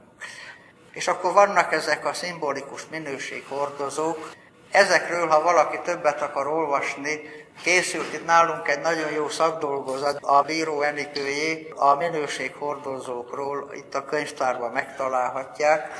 Hát mik azok? Olyan dolgok, amikben valamilyen minőség kiugróan jelen. Tehát van egy dolog, és annak van egy valamilyen minősége, ami olyan kiugró benne, és akkor azt a dolgot fel lehet használni szimbólumként bizonyos minőségeknek a kifejezésére. Ezt mindjárt megértik, hogy mi, és állandó hasonlatokban is ott vannak. Például azt mondjuk, hogy hófehér. Vagy lehet mondani, hogy fehér, mint a hó, mert ugye a hóban ez a fehér, ez úgy nagyon kiugróan jelen van, és akkor lehet mondani. Hát azt lehetne mondani, hogy hát ez most már teljesen fogalmi, ez semmi problémát nem jelent, de van valami, ami mutatja, hogy a szimbolikus rendszerünk jellegzetessége nagyon határozottan ott van ám ebben, és vegyük észre, hogy megint valami tulajdonságot kell kifejezni, értik? És nem valami főnevet kell megnevezni. Hogy tudnélik, azt a fehérséget még a fal is lehet ennek minőség hordozója, hogy fal fehér, ugye, és fehér, mint a fal, de a szimbolikus rendszerünknek a jellegzetessége az, hogy ez is nagyon specifikált, mert az arcunkra lehet mondani, hogy falfehér, igaz? És látjuk, hogy itt is az, hogy nincs több lépés, nincs két lépés, és nem működik az, ami a fogalmi, racionális rendszerünkben az egyszerű szillogizmus. Mert ott az lenne, hogy ha az arcom falfehér, és ha a fal hófehér, akkor az arcom hófehér. Ebből ezt logikailag le lehetne vezetni, igaz? Akkor lehetne mondani, hogy az arcom hófehér, de ilyet nem mondunk, érti? Mert az arcnak a fehérségét, azt a falnak a fehérséget tudja kifejezni, a hónak a fehérsége nem tudja kifejezni, és az a fehérség, ez egy fantasztikus dolog. Kiolvasta maguk közül Herman Melville Moby Dickjét. Olvasta? Félig. Hát legalább a 42. fejezetig elért. Ha nem tudja, akkor biztos nem ért el. Vegye megint elő a 42. fejezetet, olvassa el, ami egy egész fejezet a bálna fehérségéről szól, és ott gyönyörűen, de nem lehet elmondani milyen szépen, ott megvan, hogy mennyi mindenféle lehet a fehér, és annak mennyi mindenféle hangulata lehet, és látszik, hogy ebben a rendszerben az nem úgy működik, mint a fogalmi rendszerben, ahol egyszer van valaminek egy neve, azt aztán mindenre lehet mondani. És ott van az, hogy cérna vékony, vékony, mint a cérna. Ezt megint mire lehet mondani? Nem lehet mondani például egy ceruzára. Ezt emberi hangra lehet mondani, és még azt is lehet mondani, hogy cérna hangja van neki. Értik? Vagy ott van az, hogy kő. Kő kemény, kemény, mint a kő, és kőszívű. De a kőkemény, az megint nem lehet mindennek a keménysége. Például mi mondhatjuk azt, hogy nem jó ez a ceruza, mert olyan nagyon kemény a bele de az nem lehet kőkemény, és pláne nem lehet kőbélű ceruza, értik? Az nem megy. És akkor itt lehet mondani, hogy na jó, de ez fogalmi alapon úgy lehet, hogy ez egy ilyen metonímiás dolog, sok lépéses, hogy kőkemény szívű, akkor az rövidül, hogy kőszívű, meg minden. Csak hogy ám ez nem így van, mert nem csak ennyi, hanem ez folytatódik azzal, és ott már mit csinálnánk, hogy ennek az embernek kő van a szíve helyén. Értik? Vagy azt mondja, kőből van a szíve. Hát ezt már nem lehet semmilyen módon metonimikusan kimagyarázni, de nem is a fogalmi rendszeren belül kell ezt magyarázni. Na most, vannak bizonyos dolgok, ahol egyszerre együtt több minőség is lehet kiugró, és az ilyen dolgok egy része univerzális szimbólum. Például tessék megmondani, mi lehet az, ami nagyon kiugróan rossz, most az a három faktor mentén, nagyon kiugróan rossz, és ebben különösen a piszkos, ami kiugró, kiugróan gyenge, kiugróan passzív. Értik? Mi az? Hát a szar, nem? Erre lehet, hogy gondoltak, csak gondolták, hogy ilyet nem kell mondani. Hát nem azt írtam oda, hogy ürülék, mert azzal nem csináltunk semmit, értik? Mert az hiába szinonimája neki, mert az ugyanúgy, mint a sónak a nátriumklorid, az nem hozza. Na most ez egy nagyon érdekes dolog, mert tessék azt észrevenni, hogy ami ilyen nagyon rossz, nagyon gyenge, nagyon passzív, nagyon semmire való dolog, arra mindenre lehet mondani, hogyha olyan. Tehát lehet mondani azt, hogy szar ez a számítógép, meg szar ez a ceruza, meg szar ez az előadás, mindenfélére lehet mondani, és hát itt arra lehetne gondolni, hogy ez olyan melléknévszerű, mert hát lehet olyat mondani, hogy ennél szarabbat még nem láttam, például lehet fokozni, de közben ugyanakkor az teljesen egyértelmű, hogy főnév. Hát amikor azt mondjuk, hogy most szarban vagyunk, igaz? Akkor az látszik, hogy főnév. Na most akkor gondolják el, hogy mi lenne abból, hogyha a kognitív nyelvészetbe szokásos eljárás szerint, amikor valaki idead nekem egy ceruzát, amivel én nem tudok írni, és azt mondom, hogy ezt a szart meg hol szedted? Akkor most hogyha a kognitív nyelvészet eljárása szerint azt mondanánk, hogy itt most a ceruza fogalmát a szar fogalma szerint konceptualizáltuk. Értik? Mert ebből ez jön neki, de gondolják ám meg, hogy nem csak a ceruzára lehet mondani, hanem az imént mondtam, hogy az égvilágon mindenre, és ebből pillanatok alatt az lenne, hogy ha mindent a szar mintájára konceptualizálunk, akkor az egész fogalmi rendszerünk szarrá lesz pillanatok alatt, értik?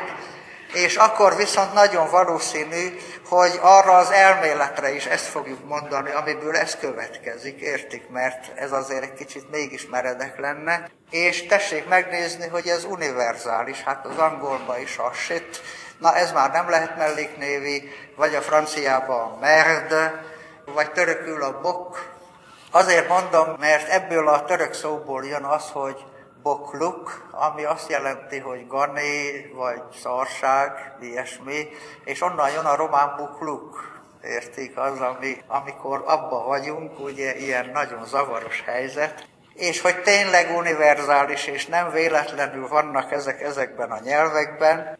Nem tudom, hallottak maguk egy vasó nevű csimpánzról.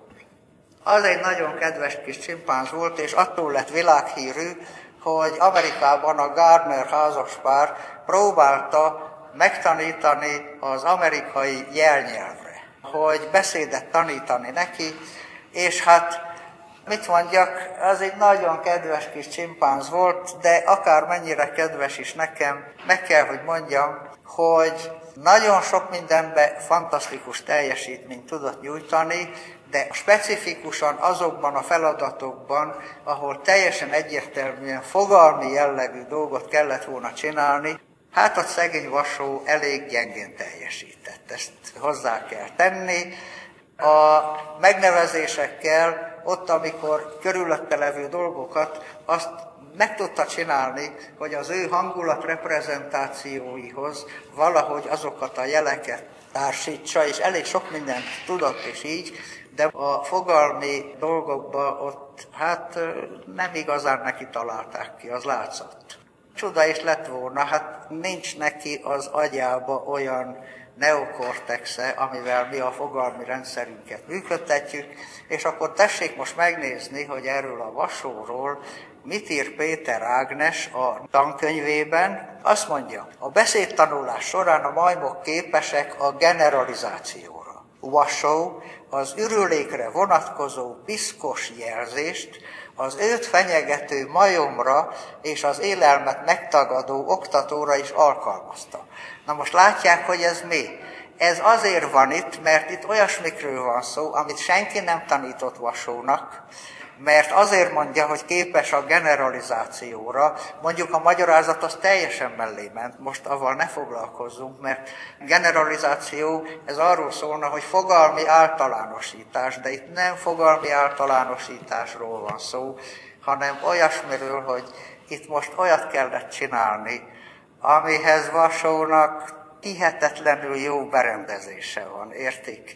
Mert Szimbolikusan kell kifejezni azt, amit ő érez, hogy haragszik valakire, és akkor neki is beugrik pont ugyanaz a szimbólum, ami az embernek, hogy amikor haragszik valakire, emberre vagy majomra, akkor mondja neki azt, hogy te mocsok, te szarházi, te gané, értik? És magától rájön erre, hogy ezt így lehet kifejezni, és ugyanazt a szimbólumot találja meg, amit mi is használunk, úgyhogy ne tessék csodálkozni, hogyha ezzel a világ mindenféle nyelvében találkozni fogunk. Na most a szinesztézia, hát a szinesztéziát maguk ismerik, de honnan? Főleg a stilisztikából. Mert a stilisztikában szoktak ezzel foglalkozni, ahol emlékeznek rá szűkebb értelemben, azt jelenti a szinesztézia, hogy egy olyan minőséget, amit az egyik érzékszervünk útján tapasztalunk meg, egy másikhoz tartozó szóval fejezünk ki, és hogy ne legyen maguknak nagy meglepetés, azt a példát hoztam, ami minden tankönyvben ugyanaz van, de hogy már egyszer legalább lemaradjanak róla, az, hogy a kirakatban lila darra kelt egy nyakkendő. Ezt ismerik. Tehát az, hogy a lila, mint vizuális, és kapcsolódik a dalhoz, mint hangzáshoz, Hát mondjuk ez így most már rendben van, mert a stilisztika foglalkozik a költők szinesztéziáival, de akkor nagy kérdés, hogy ki fog foglalkozni a köznyelvnek a rengeteg szinesztéziájával, mert a nyelvészek ezt körülbelül ugyanúgy kedvelik, mint a hangulatfestő szavakat, tehát ezt is gyorsan átpasszolták a stilisztikába, hogy ezeket szeresse a stilisztika, és minket hagyjanak békén. Értik? Mert ezeket ám nem olyan egyszerű fogalmi magyarázatban értelmezni. Hát most már azért nem olyan reménytelen az a dolog, mert mi nálunk nem is olyan nagyon régen Szántó Bíborka megvédte a doktori értekezését, aminek a témája a hétköznapi nyelvünknek a szinesztéziái volt, és egy nagyon érdekes dolgozat. Hát itt ilyenek vannak, mint az, hogy édes illat, meg keserű melódia. Ezt lehet, hogy nem szoktuk így mondani, hogy keserű melódia, de azért hoztam ide, mert ez egy filmnek a címe, az a Bitter Melody, és ha nem szoktuk is használni, mindenki érti, mit jelent az, hogy keserű melódia. Itt látják, hogy itt olyan helyen vagyunk, ahol mi mindent tudunk magunktól. Már láttunk ilyet, hogy nem tanultuk és tudjuk. És halk, harsogó színek. Hát ilyet szoktunk mondani, vagy tompa éles fény, vagy lehet hang is. Na most, hogyha fogalmi alapon akarnánk ezeket magyarázni, hát azt se tudnánk, hogy melyik végén kell megfogni. Látják, hát mit lehet ezt fogalmi alapon magyarázni, ez nem arról szól, hanem miről szól ez? Arról szól, hogy valamilyen módon ki kell fejezni azt a minőséget és a fogalmi rendszerünk, meg a hozzátartozó nyelv, az borzasztó gyámoltalan ebben a dologban, és akkor a hangulatával fejezzük ezt ki.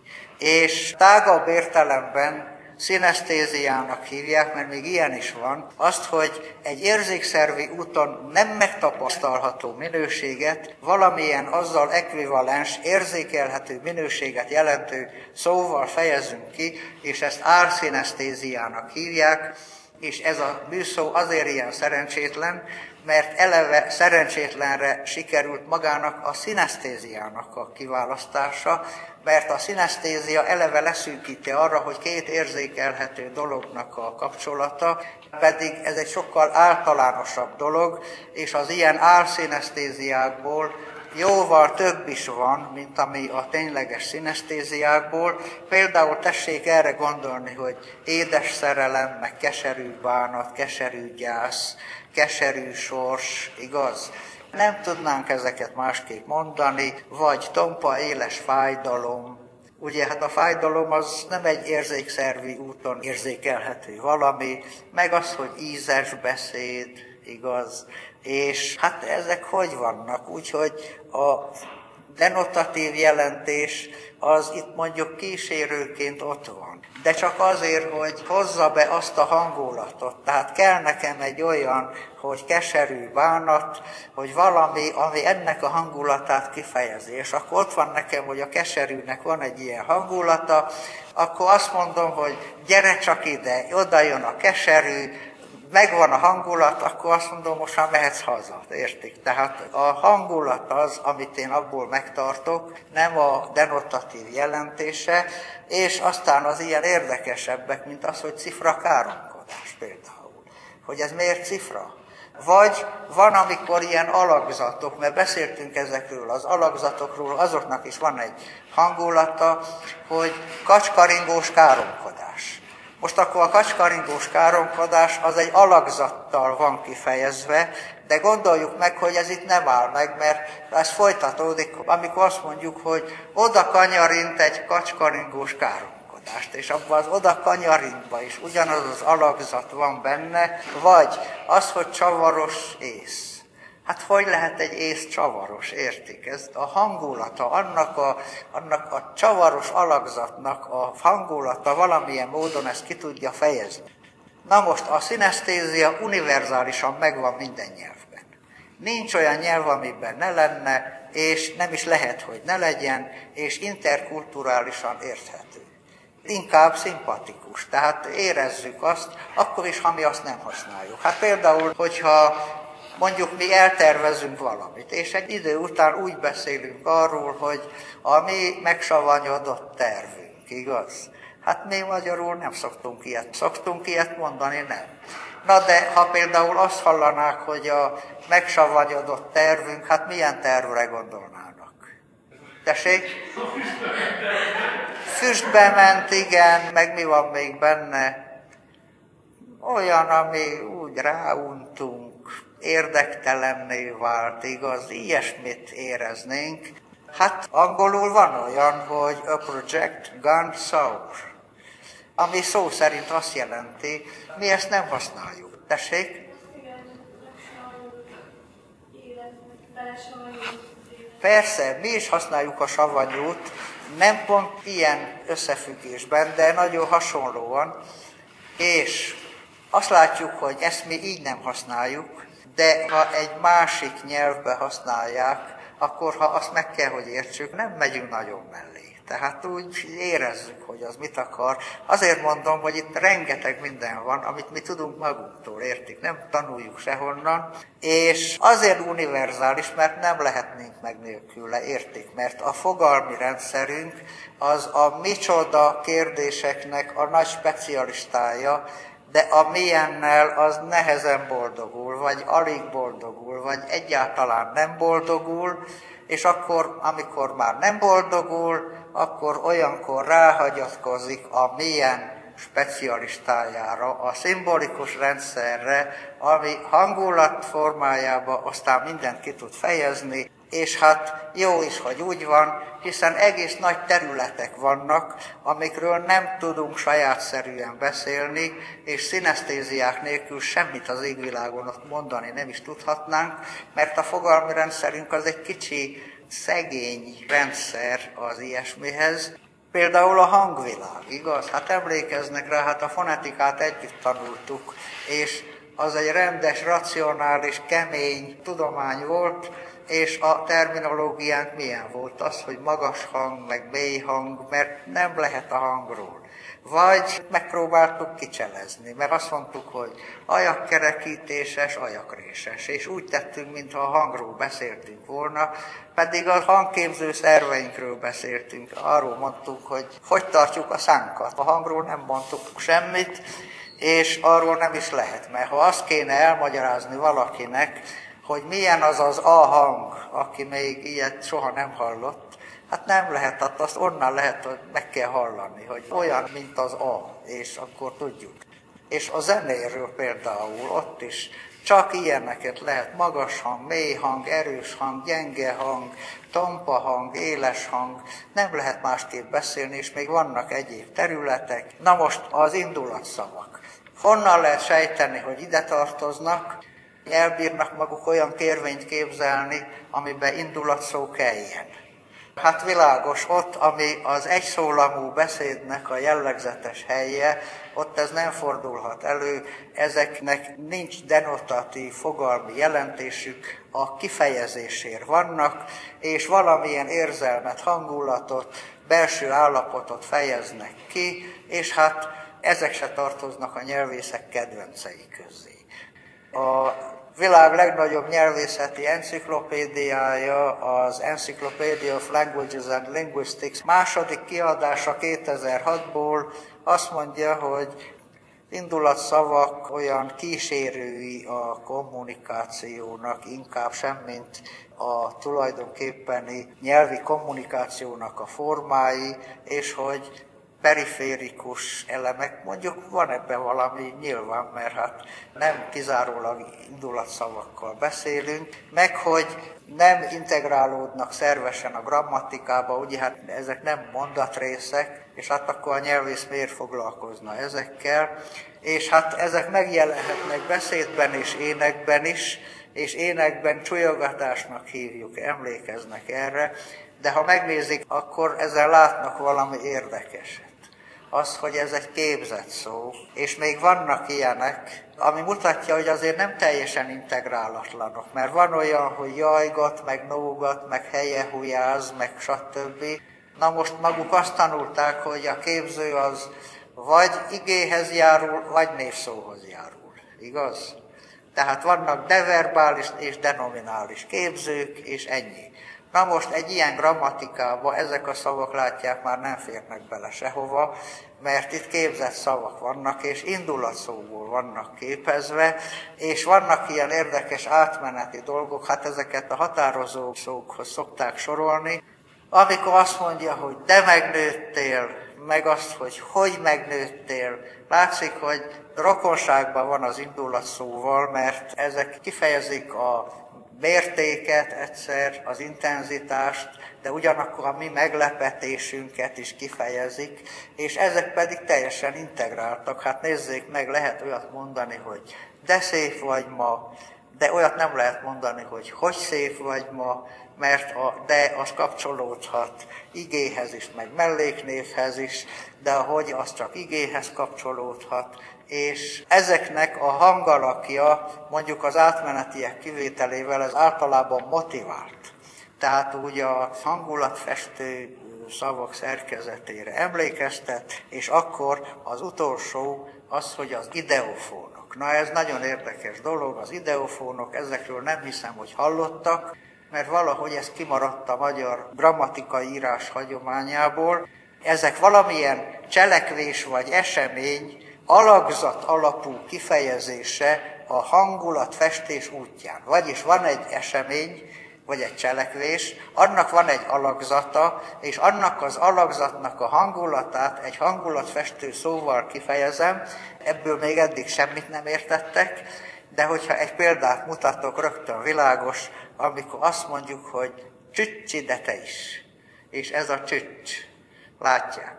Ami van annak a hirtelen leülésnek egy olyan alakzata, amit egy ilyen hangulatfestő-szerű szóval kifejezünk, és hát az értelmező szótár ezt a mondatszók közzé szokta sorolni, meg azt is, hogy tessék megnézni, hogy ahogy odaértünk, minnyáján zsupszavízbe. Ezek nagyon érdekesek. Mondom, hogy a mondatszó közé szokták ezt sorolni, de hát a mondatszó az olyan szó, ami egymagába alkot egy mondatot. De itt látják, itt nem arról van szó, ezek részei annak a mondatnak.